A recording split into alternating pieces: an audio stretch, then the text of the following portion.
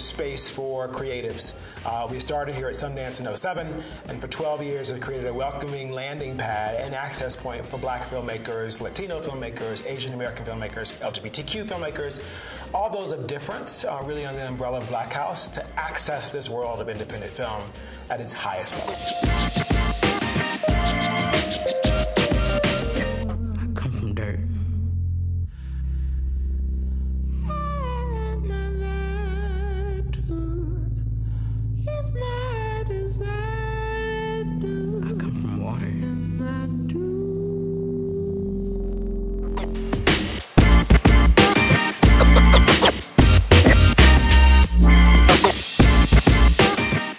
Hundreds of thousands of people from around the world were protesting against his execution. And included in that group were a handful of retired wardens and directors of corrections, and they wrote a letter to the governor uh, urging him to grant Troy clemency, not just on the grounds of potential innocence, but they spoke to the emotional and psychological consequences that killing Troy would have on the prison staff that were sanctioned to do so. Hearing them, listening to them, watching them, feeling them, all I had to do was be a good witness and have facility. And then one time she just said, Wendell, you know the thing that makes me so, so frustrating with men is that you just don't want to do the work. Remember that day?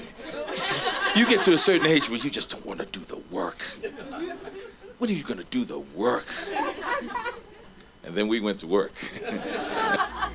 whenever I take on something, I attempt to master it. I'm never just stepping in to dabble. Right. And I think a lot of people, for various reasons, sometimes it's their own fear. You know, sometimes it's like the insecurity of like, well, if I don't really commit to it, then if I fail, it doesn't feel like I really failed because I ain't never really commit to it either. Yep. That happens in relationships as well. Amen. But you don't have to take my word for it. But I'm dumb. You know, with Facebook's help, uh, we were able to get um, you know, I was able to get a, a nice advance that, you know, paid for the cost of what we spent for the movie. So that's great. We are here to give you an extended sneak peek of American Soul. Yeah. It's our 10 episode drama series inspired by the iconic Soul Train. And throughout all of our work, we wanted to center Black joy. And Black joy is not the absence of pain but it is the presence of aspiration. We've done many things here at Black House over the years, and I would say you can kind of mark time at Sundance. There's before Black House and there's after Black House. The reason Unanimous Media, myself, Stephen Curry, our company is a part of this film is we've all agreed to donate all the pro- profits and the proceeds back to the families. That's amazing. But really, it's about putting your team together. Who are you working with and who are you enjoying working with? Because if you're not enjoying the, the work, it's too hard. it's too hard. The producer is, is blue collar. You know, you don't get, you come to Sundance, you know, you don't, you, you know, you don't get all of the claim that the writer director get, and you're responsible for everything.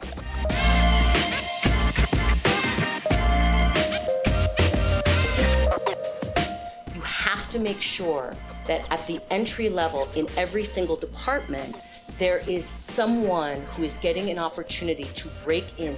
For women 25 54, all women 25 and 54, the top 16 rankings of, of scripted series, we hold four of the 16. It's unbelievable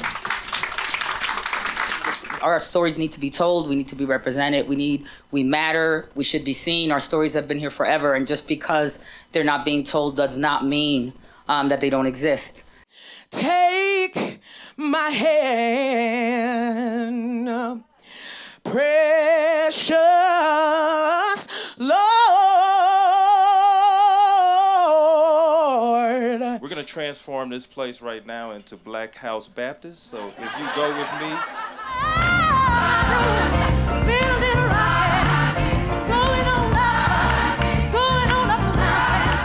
So I think our presence at, at Sundance in 2019 is critically important because there is a, a, a next mountain to climb. Uh, so, you know, it's not ever ground that you uh, cannot worry about losing in terms of the proliferation of black content. But I think for us, it's about making sure that the next generation and the next generation comes forward and takes those opportunities. And then we transform the opportunity not just from being greenlit and given the money, but also having the power to do the green lighting. Uh, so the next frontier really is a proliferation of content and content creators, and then a proliferation of owners and decision makers in the industry.